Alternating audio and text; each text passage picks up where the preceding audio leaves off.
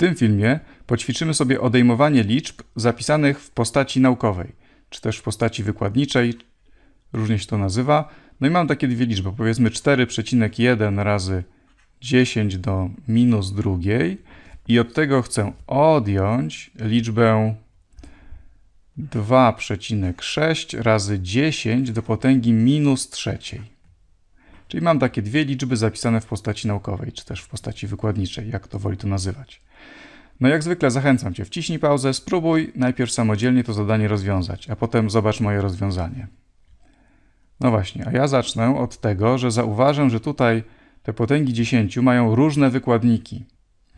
Więc żeby to odjąć, to na, ja najpierw jedną z tych liczb przekształcę tak, żeby mieć taki sam wykładnik przy 10 jak w tej drugiej.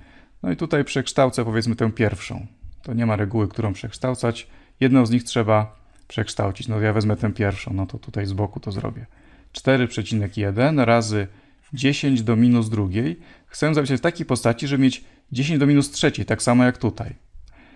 No to jak ja to zrobię? Zrobię to tak, że tutaj coś pomnożę i coś podzielę. Żeby dostać 10 do minus trzeciej z liczby 10 do minus drugiej, to muszę ją podzielić przez 10.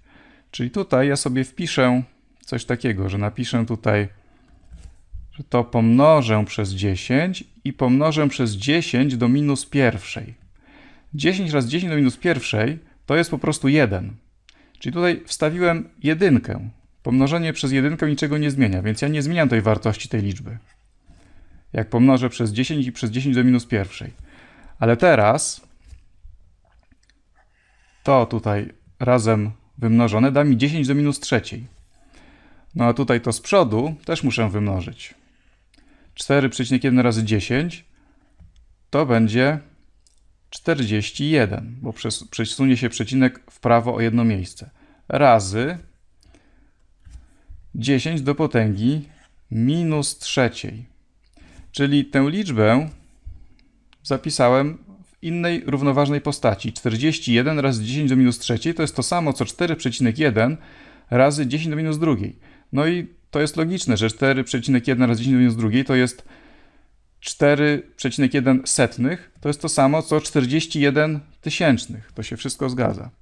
Czyli mogę wrócić do mojego przykładu tutaj i napisać właśnie tę liczbę w postaci 41 razy 10 do minus trzeciej. Bo to jest dokładnie ta sama liczba. Od tego odejmuję 2,6 razy 10 do minus trzeciej. No i teraz tutaj mam wspólny czynnik. Wspólny czynnik równy 10 do minus trzeciej. No to napiszę to właśnie w takiej postaci, że napiszę tutaj w nawiasie różnicę tych wyrażeń razy ten wspólny czynnik, który napiszę za nawiasem 10 do minus trzeciej. A w nawiasie mam 41 odjąć 2,6. No to ile to jest 41 odjąć 2,6? No to będzie 38 i 4, czyli to jest 38,4 to wyrażenie razy 10 do potęgi minus trzeciej. No i to już wygląda prawie jak wynik w notacji wykładniczej zapisany, czy też naukowej, z tym, że tutaj mam przed przecinkiem dwie cyfry, 38, czyli trzeba to jeszcze trochę poprawić i napisać, że to jest 3,84. Przesunąłem przecinek o jedno miejsce w lewo, czyli podzieliłem przez 10, czyli muszę jeszcze pomnożyć przez 10, żeby nie zmienić wartości. 3,84 razy 10 to jest to samo co 38,4, czyli te dwie liczby są sobie równe. No i ta liczba była pomnożona jeszcze przez 10 do potęgi minus trzeciej, czyli ostatecznie, że wezmę jeszcze inny kolor, 3,84 to jest ta liczba, będzie pomnożone przez 10 do jakiej potęgi? No tutaj tak jakby miał potęgę pierwszą, czyli muszę do minus trzeciej dodać 1, to będzie minus druga, czyli będzie 10 do potęgi minus drugiej. Czyli taki jest ostateczny wynik. Różnica tych dwóch liczb zapisania w postaci naukowej to jest 3,84 razy 10 do potęgi minus drugiej. Tutaj można by było jeszcze chcieć zaokrąglić ten wynik tak, żeby on miał tyle samo cyfr znaczących, co, co te liczby, od których zaczynaliśmy i wtedy ten wynik po zaokrągleniu to by było 3,8 razy 10 do minus drugiej.